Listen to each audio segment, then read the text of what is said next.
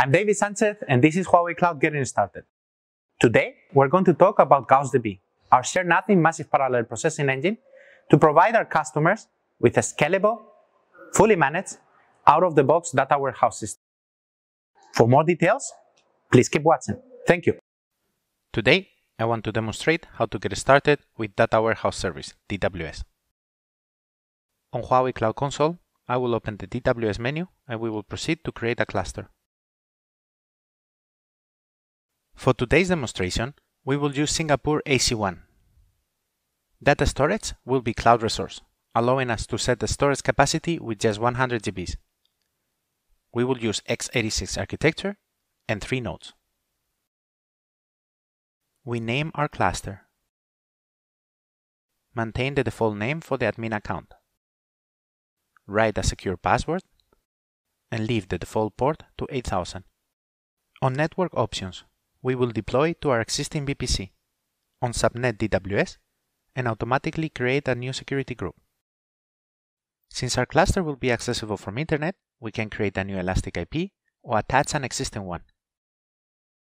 Our new cluster will be placed under the Big Data project. Since we want to enable cluster data encryption at rest, we will enable advanced options, enable data store option, and then select our encryption key. Click Next. Confirm our parameters are correct. and Let's provision our cluster. If you are planning to use DWS for the long term, we recommend you to use discount packages, being 35 to 45% more cost effective compared to pay-per-use nodes. Once the cluster is provisioned, click on the arrow to expand and have a quick peek on the most important information about our cluster. On the right side, we have additional options, from scaling, performing a snapshot, backing up our data, or entering the monitoring panel. For further actions, we access our cluster by clicking the name. DWS will configure the DNS so you can access by domain name instead of using the IP. For further advanced features, you can open Workload menu to isolate workloads for different services. Snapshot menu to configure the policy for backing up our cluster. Modify cluster parameters Configure security parameters like auditing and enforcing SSL connection. Enable connections to external MRS data sources. Let's exit our cluster.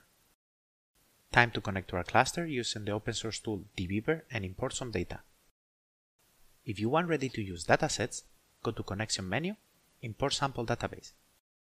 This link will open the documentation with few sample datasets available to our customers. Today, we will use the checkpoint vehicle analysis with almost 900 million data records. First, let's open dbeaver.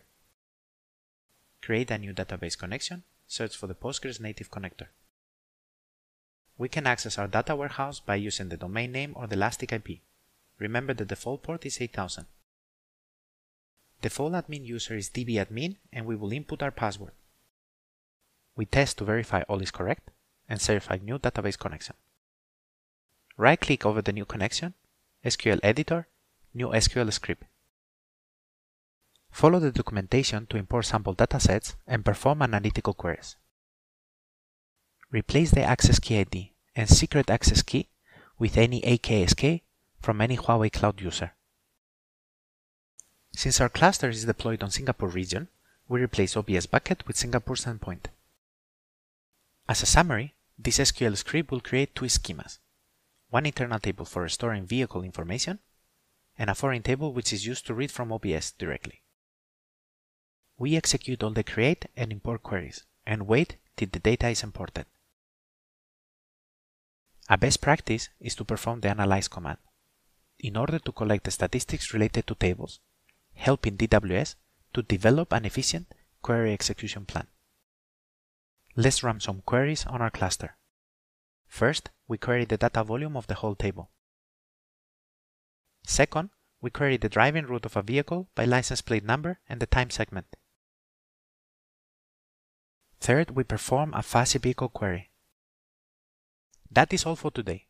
We hope you enjoyed this getting started with data warehouse service in Huawei Cloud and look forward to your feedback. Thank you.